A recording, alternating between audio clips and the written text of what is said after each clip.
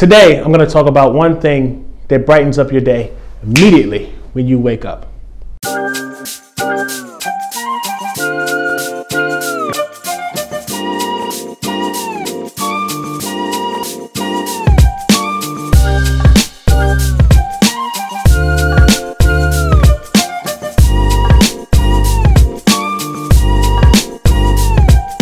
Hi, I'm Adam Thomas, and you're watching the Life as Usual video blog, where I take topics around the ideas of direction, self awareness, and execution, and tell you one tool that'll help you become a better leader. Today, I want to talk about the one thing that you can do when you wake up that helps you execute on the rest of your day. What is it? You're going to laugh because it's so simple. It's something you've heard about since you were a kid. What I'm talking about is making your bed. You're probably thinking, like, oh, making my bed, what is that going to do for me? Well, there's three things.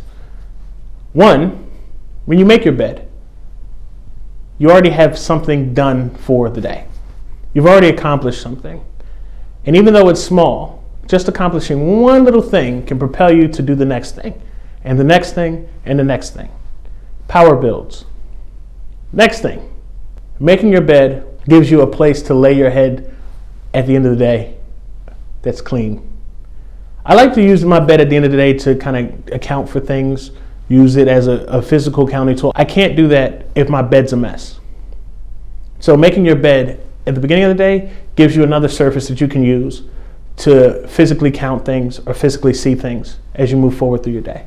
The third point, when you come home from a messy bed, a messy bed after a bad day can trigger a really bad emotional response. A thing that's satisfying after a long day after things went bad is to come home and see something nice. And a made bed is just that. Remember, a made bed, two minutes, and it makes your day that much better. My name is Adam Thomas.